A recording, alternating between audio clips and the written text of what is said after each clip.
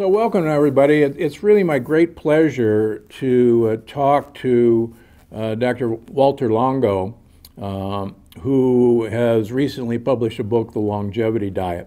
And it's a pleasure of mine because I've been a big fan of his research, and you've probably read in The Plant Paradox that I definitely uh, reference uh, your work. And so it's great, great to have you here. So, uh, what compelled you to write The Longevity Diet? Diet is really uh, the result of, of 25 years of work, uh, starting back in the days with Roy Walford, who was, the, was my mentor. It was at the time, I think, the leading figure in the world for nutrition and longevity. And he had written some books on the topic, of course. And um, and I just thought that uh, it, it, was 25 years went by, and we uh, and at that time there was really not much genetics available. We didn't know what genes controlled aging, what genes prevented diseases, and and uh, and certainly we uh, calorie restriction, which is was the intervention that he was really promoting, which is the chronic reduction of calories, um, did, did work very well. It, show, it, it, it taught us incredible. Uh, uh, it gave us incredible findings, but at the same time, it just showed us this is probably not the way to do it um, you know, people are not going to be willing to do it. And even the monkeys did not live that lot much longer. Um, so, so there was time to really uh, do it differently. And, and I think that's uh, the longevity that I waited until I finished clinical trials. And then I felt that, okay, now uh, we can go out and tell people to do something that uh, is being clinically tested in randomized trials and, and uh, is safe. Uh, of course, you can always do additional studies, but uh, um, I felt that uh, it was enough to to uh, to really make a difference. Yeah. So what you know, you and I think uh, probably long-term calorie restriction is, is not the way to go, and you know I've, I've read all of your mentors' work a, a long time ago, and it was actually influenced a lot of my work.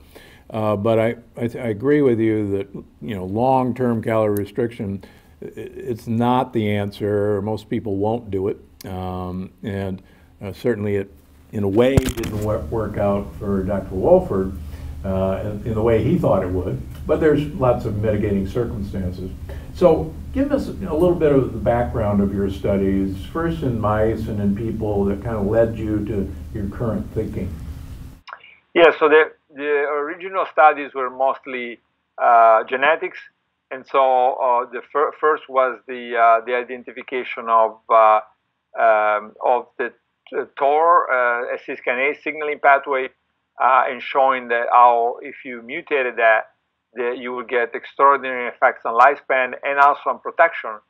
Uh, then we went on to um, show uh, this was what we call the protein aging pathway, so response to high levels of amino acids and uh, and proteins. And um, and then we identified the, the PKA, RAS PKA in yeast and PKA probably only in mammals, uh, the response to sugar. So if you have lots of sugar, uh, these these genes are turned on. And so we think that the protein pathway and the sugar pathway together, they're really pushing systems to uh, age more uh, quickly.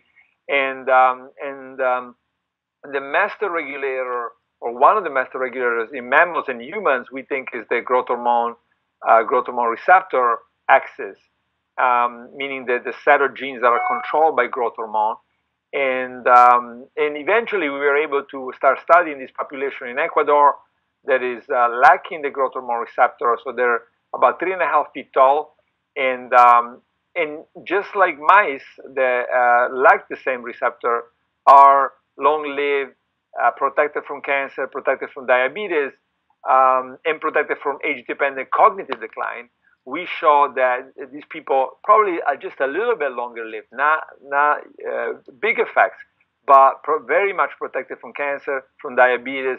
And the latest paper we show uh, with you doing uh, fMRIs here uh, in Los Angeles um, that they they seem to be uh, protect.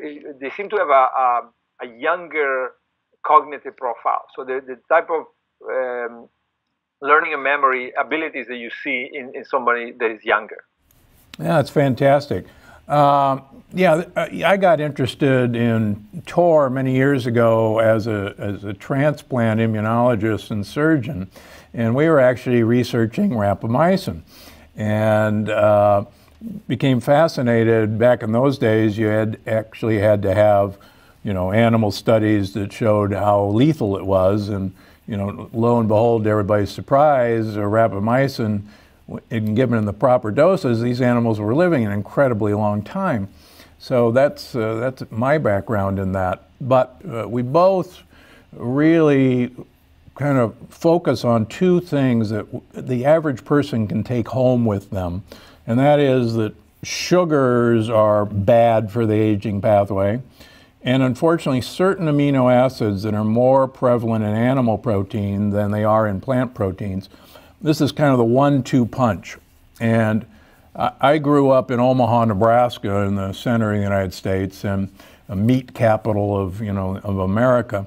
And so when people say, well, gosh, you know, I, I, really don't want to give up my meats and animal proteins and I really don't want to give up my sugars, can you, can you say why you think both of those things are probably equal, equal in importance in producing longevity?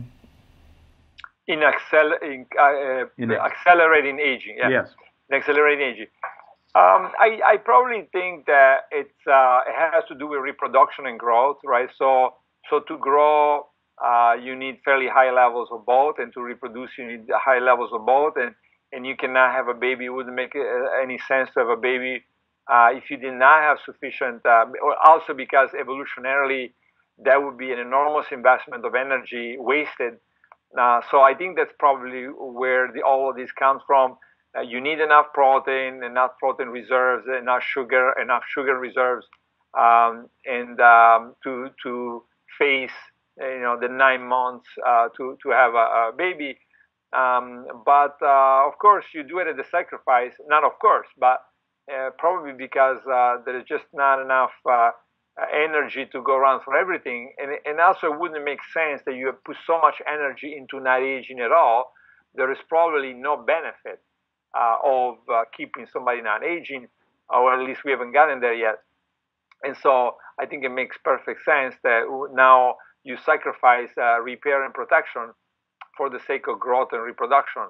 Uh, and this is pretty consistent uh, in, in, many different organisms. And uh, um, I think it's a pretty good, it, it's very clear, you know, in, in, in a cell. And we've done a lot of work, for example, with chemotherapy resistance. And you see it very clearly if you push the cell, if you starve a system and you reduce the glucose and the proteins, um, it becomes protected, but it doesn't divide. It sits there, it becomes smaller usually in size, and, and it doesn't divide. As soon as you give the, the amino acids and the sugar, it, it becomes larger and it starts dividing, and it can divide very rapidly like, like uh, cancer cells. Uh, but when they divide very rapidly, uh, they're very much unprotected, very sensitive. Yeah, so that, that brings us actually to uh, a, a, good point. Uh, you and I are, are, both fans of fasting. I, I know you and Joseph Mercola have uh, talked about this. I think um, he's probably more on the Jason Fung side of things that a four or five day water fast is a great idea maybe once a month. You, on the other hand, have the fasting mimicking diet. So, could you kind of talk about the benefits, the drawbacks of, of both of these systems? Well, we started with the water only fasting, and uh, we started with cancer patients uh, 10 years ago or more. And I have to say, it was a disaster. It was a disaster for compliance. It was a disaster for uh, potential safety issues and uh, it was a disaster also, or certainly problematic for doctors' compliance. Um, so doctors really felt that they were exposed and they were doing something they didn't feel comfortable with, and so did the patient. So this is uh, how we started, and then we went to the National Cancer Institute and basically said, "This is a problem we have. Uh, what about a uh, diet that mimics fasting?" And um, and uh, I, I mean, I think I speak from experience, having done this for so long and, and really talked to thousands and thousands of people and hundreds of doctors. Um, the fast, the water only fasting seems like a good idea because it's free and you feel like, oh, I want to give it to, for free to everybody. But the um, when we did that uh, in Europe, for example, it was also a disaster when people were allowed to improvise the fasting mimicking diet because uh, people go home and do all kinds of uh, wrong things. People are not pharmacists; they're not trained to make their own, uh, uh, you know, drugs or, or, or medical food and uh, and of course, you know, whereas uh, say take 100 people, maybe 90 will be fine at any given cycle. And and so if you look at it from 30,000 feet, you think, wow, no big deal. But if you really get, get down there, you realize how a lot of people will have problems with the water only fasting and they'll have problems even with improvised diets. Um, and so I basically gave up all the uh, financial benefits from the diets. I don't make a penny out of any of it and never will. Um, but I felt, and, and, it was the right call, uh, do something that you clinically tested in, in, in patients that doctor, that is always the same. Now it's over 25,000 people have done it with thousands of doctors, and it was uh, tested in randomized clinical trial. So we really feel very, very positive about the safety. And, uh, and, and also, I have to say, a lot of the funds eventually will go back to research and universities and institutions. So even you know, buying the kit is really benefiting the the uh, research and it's a good cause and and I think uh, yeah for all those reasons uh, now water only fasting can be done in a clinic in a specialized clinic you know so uh, the True North for example in Northern California does that absolutely and the Buchinger Clinic uh, Wilhelmi Clinic in, in Germany is another good one and so if somebody can can go to these clinics and and uh, by by all means that they've shown a lot of very good effects now when it comes to disease prevention, disease treatment, etc., uh, then you have to prove it. And, and even in those cases, the clinical trials uh, have been very few for those diets. We're doing uh, many with the FMD, and so I think uh, you know everybody else gotta um, just do clinical trials and show the results, both mouse work and clinical trial, and then I think it's ready for for recommendation. So, for the purpose of people who uh, either haven't read your book yet or haven't read deeply into the plant paradox. Can you, can you give us a nutshell of what the fasting mimicking diet does and why uh, you think, and quite frankly, I think, that this is a, a really good way to go about things? Yeah, so the, the, um, the main thing mechanistically, I think if you look at how it works, is the uh, breaking down. I, I like the analogy of a wood uh, burning train, an old wood burning train that cannot does not have enough fuel to make it to the next train station. So it starts burning the damaged chairs, the damaged walls, and uh, then makes it to the train station. And then, of course, it's lighter and it can make it there and now um, it can rebuild, right? It can rebuild the chairs, rebuild the walls. So now you have a, you know, not a completely new train, but certainly a train with new chairs and new newer walls. And that's what the body does. And, and now we, we, after many papers, we have a pretty good idea that, that this is very consistent. So whether it's the, the liver, the pancreas, the uh, hematopoietic system, the blood system, the nervous system, and, and probably the muscles, um, probably everywhere, the, the, the fasting shrinks system because it's trying to get lighter and it's trying to use either intracellularly by autophagy or cellularly by just destroying cells and saying, I don't need, for example, white blood cells go down. Well, you don't need, if you're starving, you don't need all the white blood cells that you normally have. So you, you slowly get rid of some and you don't need all the muscle that you normally, so uh, day by day, some of the muscle is going to be utilized for fuel.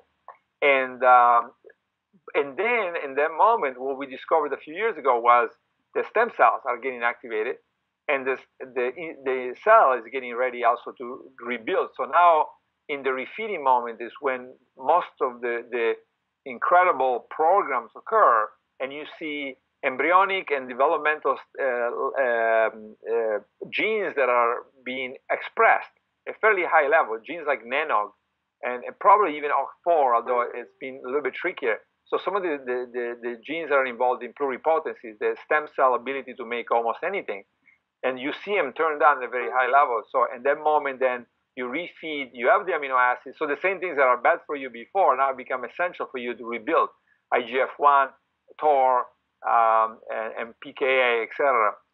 And then you rebuild, and that's what, what I think is really the foundation for a lot of the, the positive effects. So, and I think the interesting thing that you've shown is that this is something that you don't have to uh, do a modified fast for every day of the month. You've found that, in fact, the people can do this for five days a month or seven days a month and eat normally the rest of the month and act as if they had been restricting calories every day. Is that putting it safely? Yeah, so what we've been saying, uh, what we've been seeing is that the um, first of all, the diet works by far much much better in subjects that have lots of problems, right? So so if you have high cholesterol, high blood pressure, high triglyceride, you know, fasting glucose, or you're pre-diabetic, that's when it works the best. And then um, in the clinical trial, then people return to the normal diet. Uh, and um, and what we saw was that many many of the effects were long lived, and so the five day restriction seems to reprogram somewhat. For example, IGF-1. If you look at one week later after uh, the third cycle of the fasting vegan diet, and then you even look at three months later, you still see the IGF-1 being much lower in the people that started with very high IGF-1. Now, the people that started with normal IGF-1, it comes down a little bit and not so much um, long term. And uh, and so of course this is very good news because whereas calorie restriction, chronic calorie restriction, drops everything gradually, including the muscle, the IGF-1, the blood pressure. So it keeps coming down. If you look at the Biosphere 2, when when my boss Roy Walford was was there, after a few months, their blood pressure reached. They started with 110. They were very healthy, and then it reached 85. It was like 85 or 55. You know, so the blood pressure keeps dropping. In our case, we don't see that. So you, you, if you have a high blood pressure, you go back to normal. If you have a low blood pressure, you stay there. And that's really interesting because it tells you there's probably uh, fixing problems rather than just blocking pathways that are involved in, in blood pressure maintenance or, or, or uh, gly- glycemic uh, uh levels. Fantastic. So, um, one of the things that you write about in the book is that you spend summers uh, visiting, you know, one of the oldest living villages in Italy. And what what have you learned by observing these people? And the second part of that is how do you compare this village to the other blue zones? So maybe one at a time. Yes. So the um the time, I mean, uh, Italy, Calabria is one of the, the villages we uh, spend a lot of time um, with. And uh, the other one is, is, Sardinia now. I've been spending more time uh, uh, with Gianni Pes and others in, in Seulo and Villagrande. There are the, these very record, world record uh, towns in Sardinia. And, um, and of course, I know I visited Craig Wilcox in Okinawa um, several times, and and uh, I visited the people in uh, in Loma Linda um, uh, several times, and I think it's just surprising how similar every every play everybody has their own version of this vegan slash some plus some fish or sometimes plus some meat, but very little, and uh, most of them seem to have this in common. Now, an interesting thing in Molochio in, in Calabria, where I, I really grew up uh, was that you know we published a paper a few years ago showing that if you if you look at up to age 65 low protein diet is associated with reduced risk for cancer reduced the, the risk for uh, overall mortality. But after, after age 65 that sort of turned around right? And so i started thinking it could it be that the, these people whether they're in okinawa loma linda or uh, calabria or sardinia they're doing the same and it turns out, we think, and it's a little bit of speculation, but it's very clear what is happening. They a lot, lots of times they either go to a nursing home, let's say in Loma Linda, or they go live with their uh, sons and daughters in Calabria or Sardinia, and they start eating a lot more, right? So, so we we think that because of this, somewhat of a coincidence, right? They do the exact, the optimal uh, phase-specific diet. So they they undereat out to age 70, 75, and then they slowly start eating better, more. Maybe they eat some meat, uh, etc. So so we start. I mean, at least the, the evidence is now suggesting that maybe that's the best way to go. For example, IGF-1 is very high up to age 45, 50, 60 even, and then it drops down dramatically in, in somebody who's 85. And so eh, we saw, for example, that people had low protein uh, diet and people that high protein diet when they were over age 65 did not have any difference in IGF-1. So this would be consistent with this idea that you may not need anymore to be restricted that much. And in fact, you might need to do the opposite once you get to age 65. And that's exactly what you see in almost all these groups. Uh, not all of them, but, uh, but many of these very long-lived groups tend to have these uh, two phases of life where um, they uh, they uh, uh, now start eating more at a certain age just because they're in a place that sort of forces them to eat more. Yeah. And uh, have you had any chance to look at the uh, folks in uh, south of Naples in Acciaroli? Yeah, yeah. I, I, went there. I went there a few months ago. I spent uh, a few days talking to the, the dietitians and the scientists there. Um, they're, they're, you know, in many different places. The data is still not very well uh, developed. So I think they need to do more work in um, in trying to figure out, you know, how many. There's certainly a lot of centenarians in the Cilento area, and they seem to be at a prevalence that is higher or much higher than many other areas. It's not as high as this little town, but it makes sense. Cilento is a large area, so I think you know there's uh, several scientists that are doing work there, and uh, it's bound to uh, they're bound to come up with some very interesting uh, very very interesting findings. Yeah, and, you know, and again, the diet is the same. You know, when I interviewed many of the centenarians, you keep hearing the same story. Some fish, not very much, and lots of vegetables they could get in the backyard. And um, and uh, sometimes uh, they would maybe use meat to make uh, minestrone type, you know, vegetable type soups tastier. And differently from what people think, these people did not have huge dishes of pasta and and you know bread. They had some pasta, but even pasta, when you ask them, say it was expensive. You know, so we rather put green beans and and you know and all kinds of other vegetables, and then put a little pasta to make it taste good. But we did not want to do what now everybody in the world does, and it's extremely uh, damaging. Uh, is to have these 120 grams of, of starches and uh, and uh, um, and nothing else. Yeah, I was very impressed. They, they really, I, found the same thing. They they didn't really have pastas and breads like uh, other parts of Italy. Uh, I was also impressed with their use of rosemary, which uh, has fascinated me as a as really an anti-aging brain uh, protective compound. So, well, that's great to hear. So. Um, we're kind of running out of time. What are you working on now, and where do you see the future of longevity research going? Well, so now we're doing a lot of work. I mean, many more diseases, and, and so we just published a paper on, on pancreas damage. We damaged the pancreas of, of mice, and then we did the fasting mimicking diet, and we showed that we could reverse the the lack of insulin production, so essentially reverse both uh, type 1 and type 2 diabetes in mice.